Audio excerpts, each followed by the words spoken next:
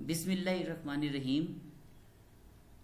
Dear students अस्सलाम वालेकुम आज हम लैंड रेवेन्यू एक्ट 1967 के चैप्टर नंबर 11 और उसके टॉपिक पार्टीशन को डिस्कस करेंगे। ये पार्टीशन जो है लैंड रेवेन्यू एक्ट का बहुत ही अहम हिस्सा है। ये डेली लाइफ में, आम हालात में, आप सबका इससे वास्ता पड़ेगा। इसीलिए आप इसे पूरी तवज्जो से सुनेंगे और इसमें भरपूर हिस्सा भी लेंगे।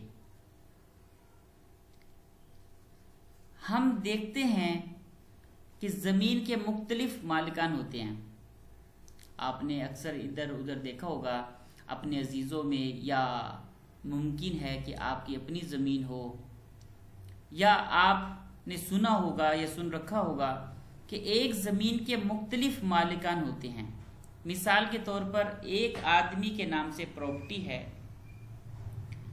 तो जब मुश्तरका खेवट में औलाद को आएगी तो वो एक ही खेवट के मुश्तरका खातेदार बन जाएँगे। मिसाल ये है कि मिसाल के तौर पर हम छह बहन भाई हैं।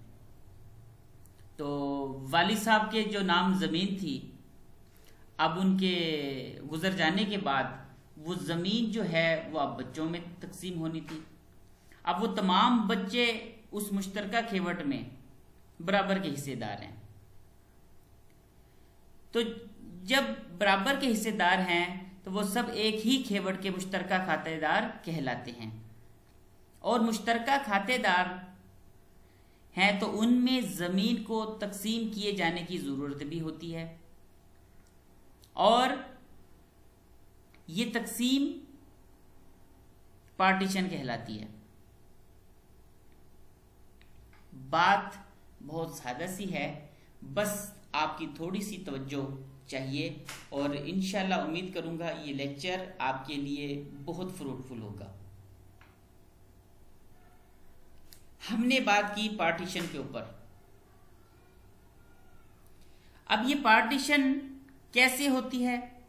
तो इसका सबसे आसान तरीका तो ये है कि हम बाहमी रजामंदी से कर लेते हैं पार्टीशन। तो जब हम बाहमी रजामंदी के साथ पार्टीशन कर लेते हैं तो हमें किसी भी अदालती कार्रवाई की ज़रूरत नहीं पड़ती।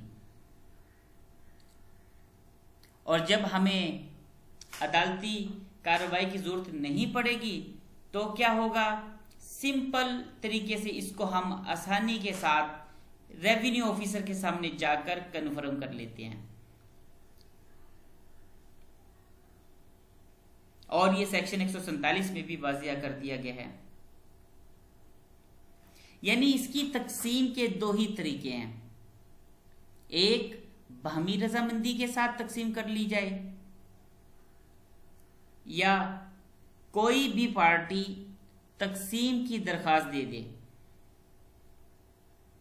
नंबर एक पे क्या बताया कि बहमी रजामंदी के साथ तकसीम कर ली जाती है या कोई भी पार्टी तकसीम की दरखास्त दे दे।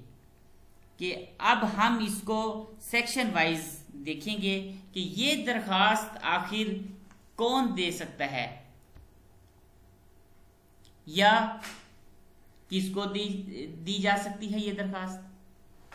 और ये दरखास्त कैसे प्रोसीड होगी? सवाल उठता है ना कि ये दरखास्त कौन दे सकता है, किसको दी जा सकती है, और ये दरखास्त का जो तरीकेकार होगा वो क्या होगा? कैसे प्रोसीड होगी? अगर दरखास्त देते वक्त कोई मसाइल पेश आ जाए तो उस मसाइल का हल कैसे ढूंढा जाएगा? और फिर दरखास्त के बाद नोटिस किया जाएगा, किस तरह किया जाएगा, किसको किया जाएगा, नोटिस की अहमियत क्या होगी। और इस दरखास्त के दायर होने से लेकर, दरखास्त के डिस्पोजल होने तक तमाम मामला आज हम इस लेक्चर में देखेंगे। और इस लेक्चर में डिस्कस करेंगे वो कौन से मामलात हैं जो दरखास्त के दायर होने से लेकर दरखास्त के डिस्पोजल होने तक तमाम तर मामला इनशाला आज हम डिस्कस करेंगे। तो अब हम इसको सेक्शन वाइज देखते हैं कि किस तरह ये जो पार्टीशन है, इसको हम एक दरखास्त के ज़रिए इसकी तकसीम को आसान बना सकते हैं। या अगर हमें कोई मसाइल पेश आ सकता है तो उससे कैसे बचा जा सकता है? तो डियर स्टूडेंट्स चैप्टर जो है अलेवन उसका टॉपिक है पार्टीशन और ये इसे रेलिवेंट जो प्रोविज़न है वो है 135 से लेकर 150 तक। ये इसको डील करेगा। तो आइए हम सबसे पहले देखते हैं सेक्शन 35 सेक्शन 135 में वो कहता है कि एप्लीकेशन फॉर पार्टीशन तकसीम के लिए अगर कोई दरखास्त देगा तो कैसे उसको इंटरटेन किया जाएगा? तो पॉइंट वन में वो बताता है कि any joint owner of land may apply to a revenue officer for partition of his share in the land if अब इसमें यही कहा जा रहा है कि हर हिस्सादार यानी मुश्तरका खातेदार तो वो अपने हिस्से की तकसीम के लिए दरखास्त दे सकता है। कोई हिस्सादार है मुश्तरका खेवट में तो वो अपनी तकसीम करवाना चाहता है अपने हिस्से की तो वो दरखास्त दे सकता है, उसका राइट है। अब सवाल ये उठता है कि वो दरखास्त किसको दी जाएगी? तो ये दरखास्त जो है वो अपने हिस्से की तकसीम के लिए जो देगा वो रेवेन्यू ऑफिसर को दी जाती है। अब इसकी एक छोटी सी मिसाल ले लें। मसलन अगर एक घर है दस मरले का और उसमें छह लोग बराबर के हिस्सेदार हैं तो अब अगर उनमें से कोई अपने हिस्से की तकसीम करवाना चाहता है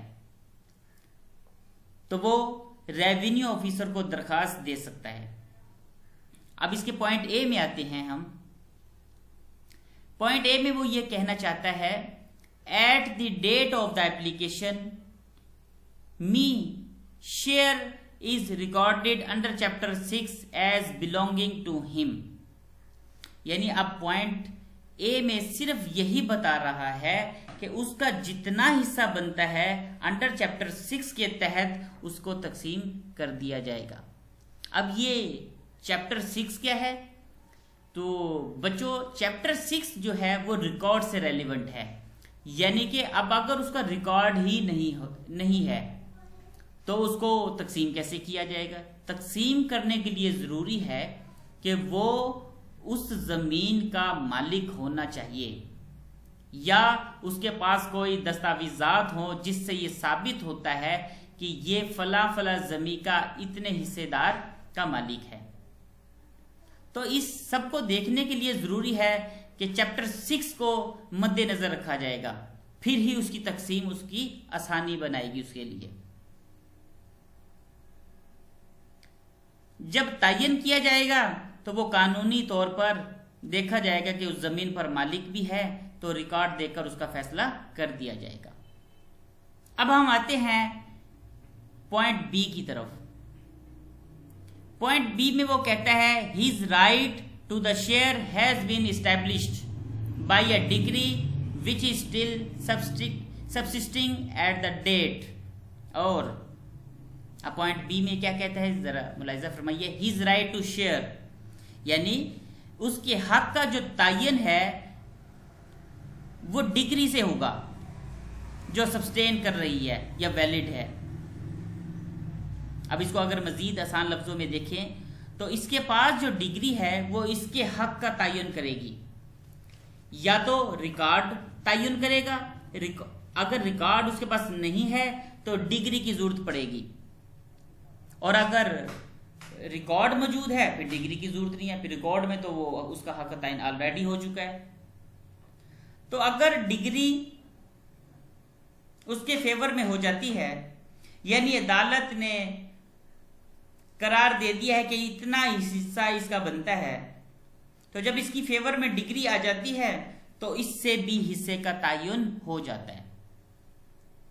अब साफ़ लफ्जों में उसने बता दिया कि अगर या तो उसके पास रिकॉर्ड मौजूद हो, या फिर उसके पास डिग्री मौजूद हो।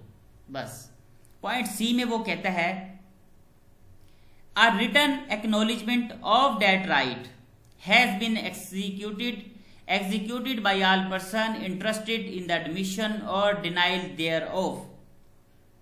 Point C में सिंपल वो कहता है कि एडमिशन या डिनाइल है या एडमिशन है। जितने भी लोग यानी इनकार करें या इकरार करें तो इन सबने तहरीरी तौर पर एक्नोलेज कर लिया है, तस्लीम कर लिया है कि ये फला फला का हिस्सा है, वगैरह वगैरह तो तब भी उसका तयन कर लिया जाएगा। अब तीन पॉइंट्स हमने अभी तक डिस्कस किए हैं। और इन तीन पॉइंट्स को अगर दोबारा से हम साफ़ तीन लफ्जों में देखें, सबसे पहले तो यह है कि दरखास्त किसको दी जाएगी? पॉइंट वन में बता दिया गया जी, वो रेवेन्यू ऑफिसर को दी जाएगी। पॉइंट टू में बताया गया कि at the date of at the date of the application में share the recorded under chapter three कि जब उसका तयन किया जाएगा तो चैप्टर सिक्स को मद्देनजर रखा जाएगा। चैप्टर सिक्स क्या है? वो बताता है कि उसका रिकॉर्ड क्या है। आया उसके रिकॉर्ड में वो जित, जिस हिस्से का वो क्लेम कर रहा है, जितने हिस्से का वो क्लेम कर रहा है, आया वो उसके हिस्से में आती है, या वो उसका मालिक तो है नहीं फ्रॉड कर रहा है। तो इस फ्रॉड से बचने के लिए क्या देखा जाता है? चैप्टर सिक्स को मद्देनजर रखा जाता है, ताकि रिकॉर्ड कर देख के उसके हिस्से का तयन आसानी से किया जा सके। और पॉइंट बी में वो कहता है कि उसके हिस्से का तयन कैसे होगा? वो कहते हैं, या तो उसके पास रिकॉर्ड हो, अगर रिकॉर्ड नहीं है तो अदालत उसको फैसला दे दे डिग्री कर दे उसके हक में, उसको फेवर दे दे। तो तब भी उसके हिस्से का तयन कर लिया जाएगा। अब पॉइंट सी में हमने देखा सिंपल वो यही कहता है, या तो वो लोग डिनाइल करेंगे या एडमिशन करेंगे।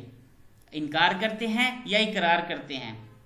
कि इन सबने तहरीरी तौर पर एक्नोलेज कर लिया हो कि ये फला का हिस्सा है और फला फला इस हिस्से का इतना हिस्सेदार बनता है। तो डियर स्टूडेंट्स सेक्शन 135 में बस यही तीन मोटी बातें थी जो मैं आपसे डिस्कस कर चुका हूँ कि एप्लीकेशन जब दे दी जाती है तो किन तीन बातों का ख्याल रखा जाता है। अब हम आते हैं नेक्स्ट सेक्शन की तरफ़। नेक्स्ट सेक्शन है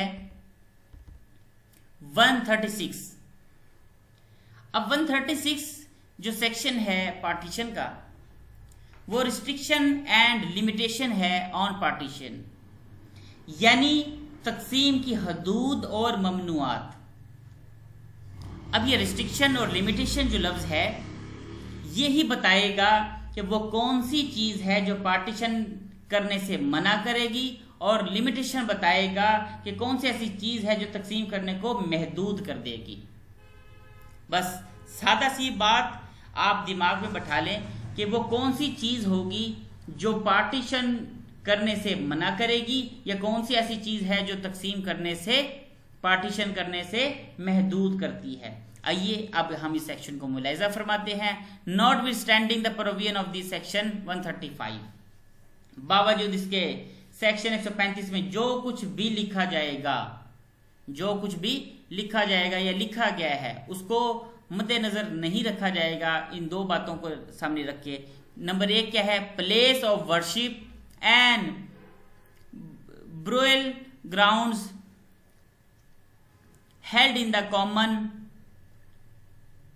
before partition shall continue to be so held after the partition and partition of any of the following property, properties, namely,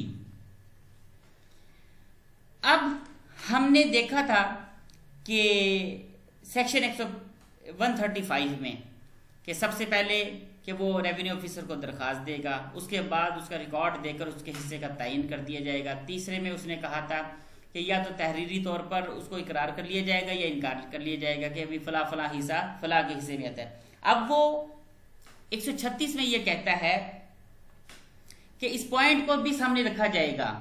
135 जो उसने स्टार्ट में कहा था कि notwithstanding the provision of section 135 बावजूद इसके कि सेक्शन 135 में जो कुछ भी लिखा गया था, अब इस पॉइंट ए में वो ये कहना चाहता है कि मसाज, मसाजिद और कब्रुस्तान, यहाँ लफ्ज जो इस्तेमाल हुआ है ब्रोयल वो है ब्रोयल ग्राउंड्स बोलते हैं कब्रुस्तान को। और ये कब्रिस्तान डेफिनेटली जहाँ लोग दफन किए जाते हैं। तो पॉइंट ए में इस बात को वाजिया कर दिया गया है कि मसाजिद और कब्रुस्तान जो तकसीम से पहले मुश्तरका थे, वो तकसीम के बाद भी मुश्तरक रहेंगे। मिसाल के तौर पर, इसकी मिसाल छोटी सी सुना देता हूँ मैं। इसकी मिसाल तो यह है कि अब गाँव में एक ही कब्रुस्तान है। अब गाँव के तमाम लोग उसी कब्रिस्तान में अपने अपने प्यारों को दफन करते थे। अब वो तकसीम कर लिया जाए अगर उसको तो मसला ये पैदा होगा कि अब वो दफनाएँगे कहा? या एक मसाजिद है, मस्जिद है एक उस गाँव में, पूरे गाँव के लोग उसी में नमाज़ पढ़ने आते हैं। अब बहुत सारे जो नमाज़ अदा कर रहे हैं तो वहाँ तशरीफ़ लाते अब उनको रोका नहीं जाएगा तकसीम के बाद। कि भाई आप नमाज़ यहाँ नहीं पढ़ सकते। तो तकसीम के बाद भी यह हक मुश्तरक ही रहेगा। बस सिंपल ये बताया गया है। पॉइंट ए को फिर से क्लियर करता हूँ। पॉइंट ए में यह बताया गया है कि ऐसी ज़मीन की तकसीम नहीं होगी जो जी, जो कब्रुस्तान हो या मसाजिद हो। यानी कि बहुत सारे लोगों के जो मफाद है वो उनसे जुड़े हुए हों। अब नमाज़ है, सबने पढ़नी है। ऐसा नहीं होगा कि आपने उसकी तकसीम करवा दी, अब वो राइट आप उसे छीन लेंगे। नहीं। सेक्शन 136 जो है, वो इस बात की पाबंद करता है, इस बात का पाबंद करता है कि ऐसी ज़मीन की तकसीम नहीं की जाएगी जिससे बहुत सारे लोगों का मुश्तर मफाद जुड़ा हुआ हो। अब पॉइंट बी की तरफ़ आते हैं।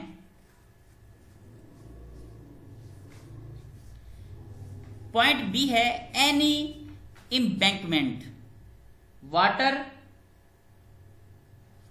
और वाटर कोर्स वेल और टैंक वेल और tank and any land on which the supply of water to any such work में डिपेंड अब प्रॉपर्टी की तकसीम कैसे की जाएगी? जो नीचे बता रही है वो ये है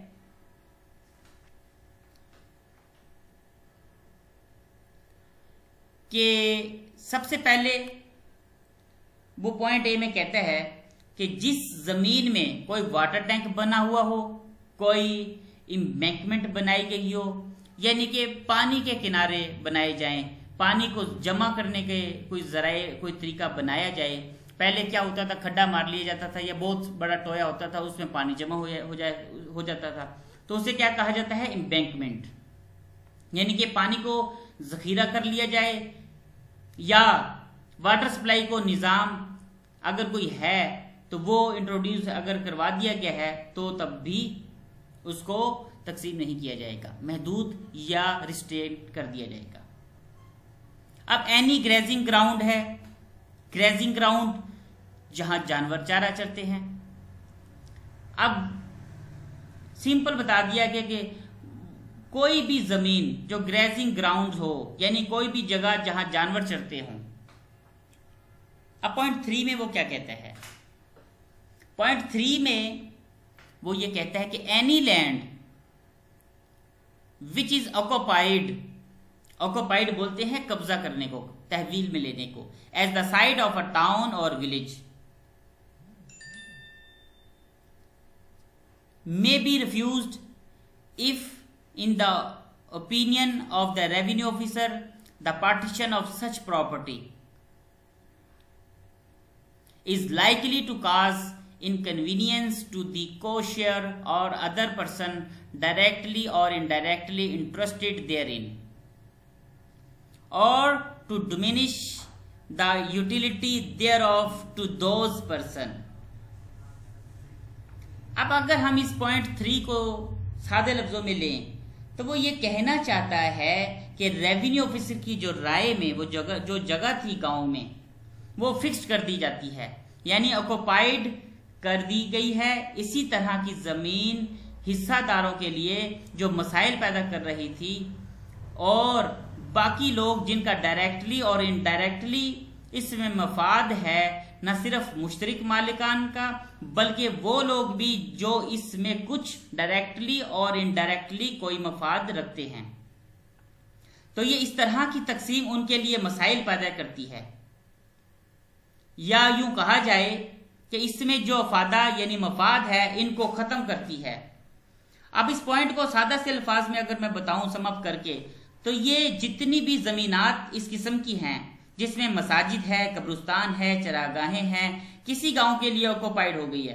तो ऐसी जमीनात को अगर तकसीम कर लिया जाए तो वो सिर्फ़ मसाइल पैदा करती है। शेयर होल्डर के लिए को ओनर के लिए, या जिनका डायरेक्टली और इनडायरेक्टली कोई मफाद जुड़ा हुआ है। अब इनको इनकन्वीनियंट कर देती है, और उनका जो मफाद है, उसको हमेशा के लिए खत्म कर देती है। अब हम सेक्शन एक की तरफ़ बढ़ेंगे। सेक्शन 137 में वो क्या कहते हैं? Notice of application for partition तकसीम की जो दरखास्त है, उसका नोटिस कैसे दिया जाएगा? सिंपल सी बात है। The revenue officer on receiving the application under section 135 shall if it is in order and not against the provisions of the West Pakistan Land Reforms Regulation 1959, Material Law Regulation number 64 and not open to objection on the face of it fix a day for the hearing thereof and प्यारे बच्चों अब इस section में वो, देखो, पहले ही बता चुका है इसके सेक्शन एक तकसीम की जो दरखास्त है, उसका नोटिस कैसे दिया जाएगा, वो तरीकेकार बताएगा।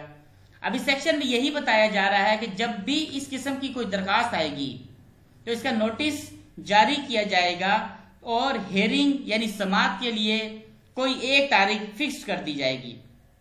अब फ़र्ज़ कर लें कि एक ज़मीन का एक हिस्सादार है।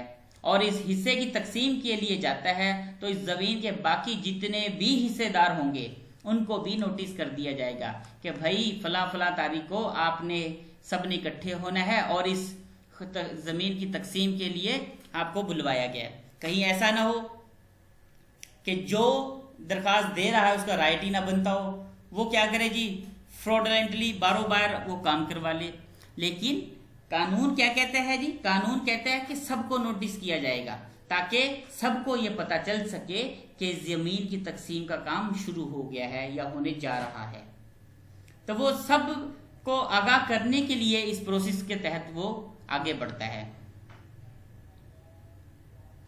अगर ये रजामंदी भी है, अगर फॉर एग्ज़ाम्पल वो रजामंदी के साथ भी ये काम करते हैं तो तब भी इसके हिस्से का तयन करने के लिए ज़रूरी है कि तमाम तर हिस्सादारान को हेयरिंग के लिए बुला लिया जाता है। अब पॉइंट ए में देखिए।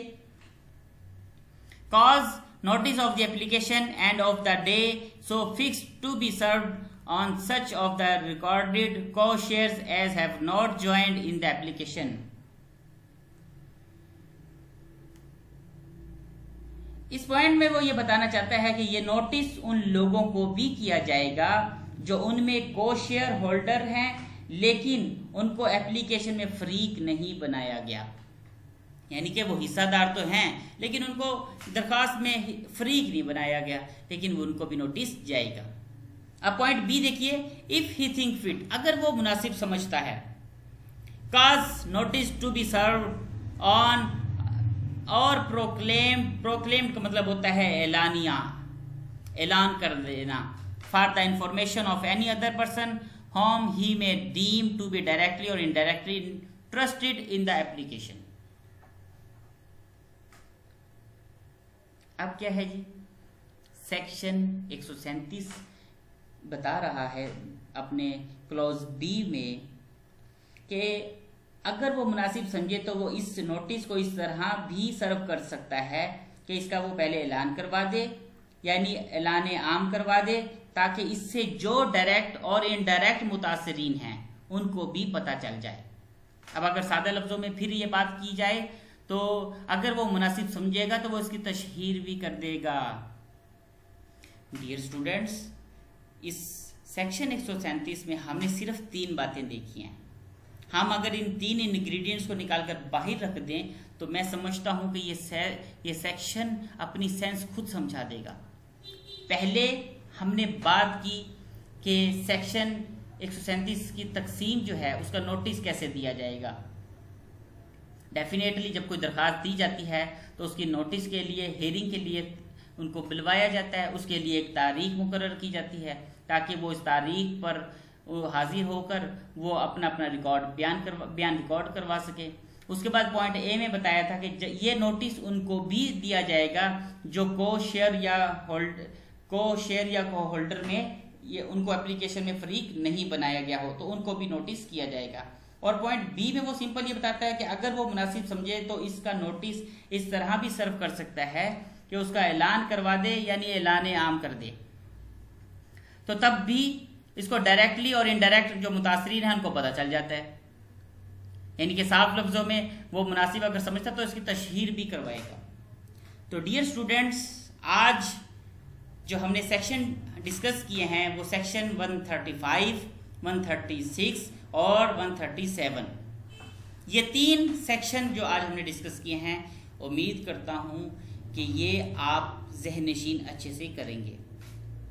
अब बच्चों बात यहाँ पैदा होती है कि ये जो सेक्शन हम पढ़ रहे हैं पार्टीशन का इससे हमें फ़ायदा क्या होगा?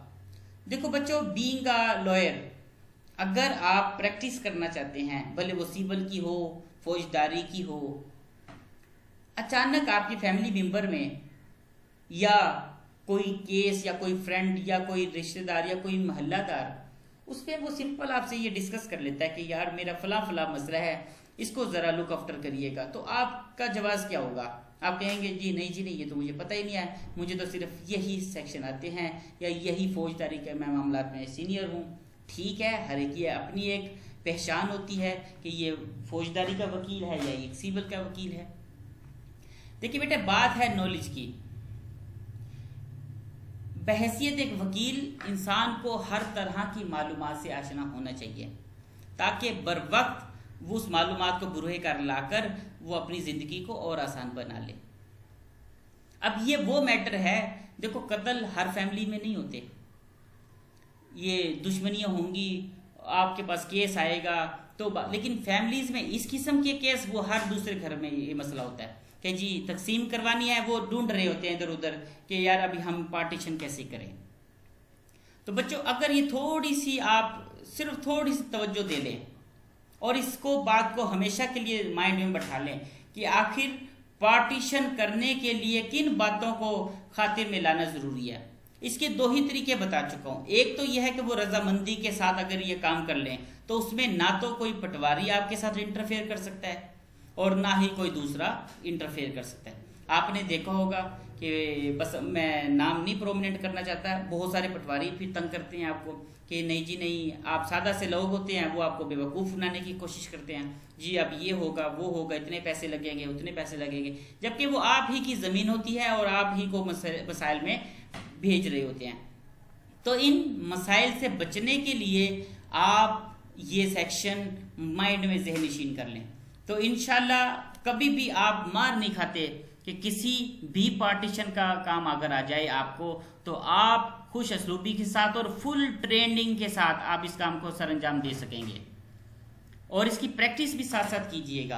आप सेक्शन को लिखा करें, फिर देखा करेंगे किस सेक्शन के तहत हम एप्लीकेशन दे सकते हैं और किस सेक्शन के तहत नोटिस किया जाएगा और किस सेक्शन के तहत रिस्ट्रिक्शन लगती हैं लिमिटेशन लगती हैं। तो बच्चों, जब आप सेक्शन को इस तरह से याद करना शुरू करेंगे तो कभी आप भूल नहीं सकेंगे। लेकिन अफसोस ये है कि आप रट्टे लगा लेते हैं कि अच्छा जी, फलां सेक्शन में ये है, फलां सेक्शन में ये है। ऐसे ना किया कीजिए। आप ये देखा करें कि किस सेक्शन को किसके तहत लिया जाता है। अब दरखास्त अगर देना चाहता है तो 135 के तहत देगा। अब अगर आप सेक्शन तो प्रोड्यूस कर रहे हैं 135 लेकिन आप यही नहीं जानते कि वो एप्लीकेशन किसको दी जाएगी।